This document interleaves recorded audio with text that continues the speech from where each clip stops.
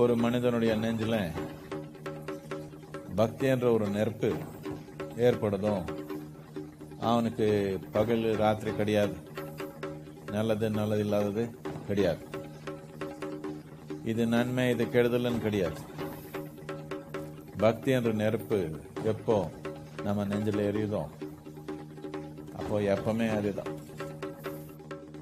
நாம் இந்த தன்மை நம்ம வாழ்க்கையில் கொண்டு வந்தால் நாம சிவனுக்கு ஒரு அங்கமா வா-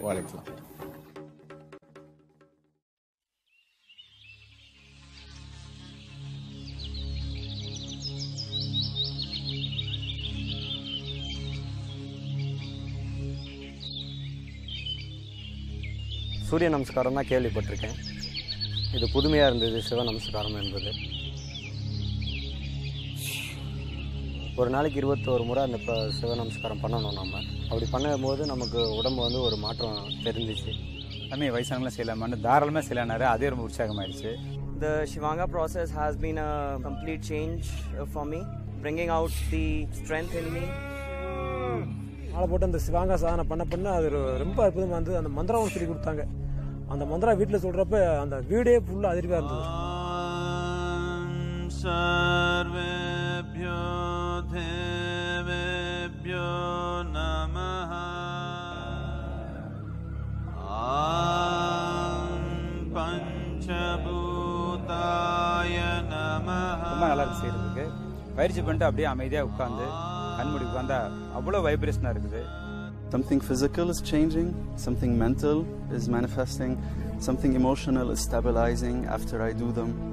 and something on the energy level. It's all there with the Shiva Namaskar every day. உடனே நான் அதில் கரையிற மாதிரி நான் ஃபீல் பண்ணுறேன் இவ்வளோ ஒரு சக்தியானதாக இருக்குன்னு நான் பயிற்சியும் இந்த மந்திரம் எனக்கு ரொம்ப உணர முடியுது என்னால். சிவன் அருள் அனுகிரகம் பூர்த்தியாக கிடைக்கிறதுக்கு ஒரு மிகப்பெரிய வாய்ப்பாக இருக்குது இந்த சாதனம். அது இல்லாமல் வெள்ளியங்கிரி மலை என் கனவுலே ஒரு பெரிய வரப்பிரசாதம் எனக்கு அந்த மலை. இதை வந்து நிறைய டைம் போகணும் போகணும் போய் தனிப்பட்ட முறையில் ரெண்டு மூணு தடவை போயிருக்கேன். இப்படி மாலை போட்டு ஒரு ப்ராசஸாக போகிறது அப்படின்னு நினைக்கும் போதே எனக்கு அவ்வளோ சந்தோஷம் இருக்குது நான் சத்குரு மெகா கிளாஸில் வந்து சொல்லியிருந்தாங்க. அதாவது மெகா கிளாஸ் பண்ணி முடிச்சோன்னா எல்லாருமே கோயம்புத்தூருக்கு வரலாம் அப்படின்னு சொல்லி கூப்பிட்டுருந்தாங்க. பஸ்ஸில் வரக்கூடிய ஆள் பஸ்ஸில் வந்துக்கலாம் காரில் வரக்கூடியவங்க காரில் வந்துக்கலாம். நடந்து வரக்கூடியவங்க வந்து நடந்து கூட வந்துக்கலாம். வர வழியில் ஃபுல்லாக வாலண்டியர்ஸ் பார்த்துக்குவாங்க. எல்லா இடம் தான் வாலண்டியர்ஸ் இருக்கிறாங்களா அப்படின்னு சொல்லியிருந்தாங்க. அன்னைக்கு எங்களுக்குள்ளால நடந்து வரணுங்கிற ஒரு எண்ணம் உருவாச்சு. நடந்து வரும்போது பார்த்தீங்கன்னா சத்குரு எங்கள் கூடவே இருக்கிறாருன்னு தான் சொல்லலாம்.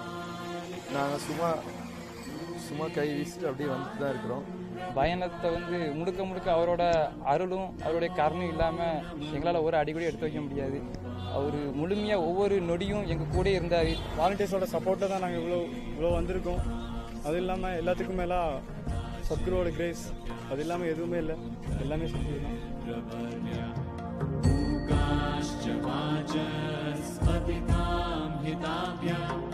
தான்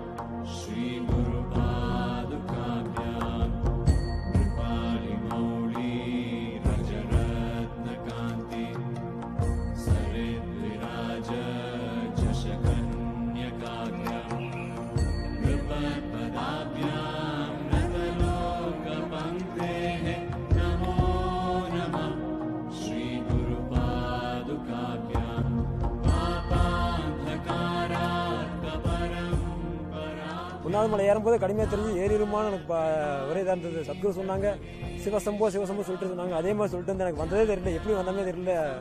யாரோ யாரோ கூட்டிட்டு வந்து விட்ட மாதிரி ஒரு ஃபீல் இருந்தது.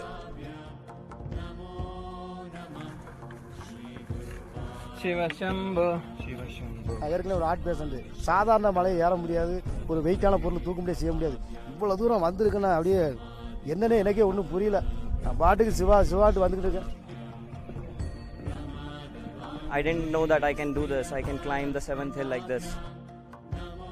Sivasambo I feel Shiva is here. Feel of Shiva, you can feel it here.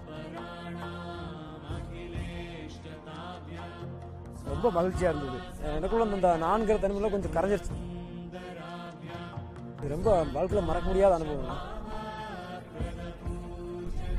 It was difficult at the same time it was experientially beautiful.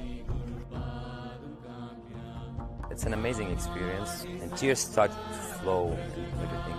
It was really overwhelming. இந்த மாதிரி ஒரு வாய்ப்பு அதுவும் கிரகஸ்தவ குடும்பத்தில் இருக்கிறவங்களும் கொடுக்கறது கடவுளால் மட்டும்தான் முடியும் Thanks to Sadhguru for bringing such a thing for us.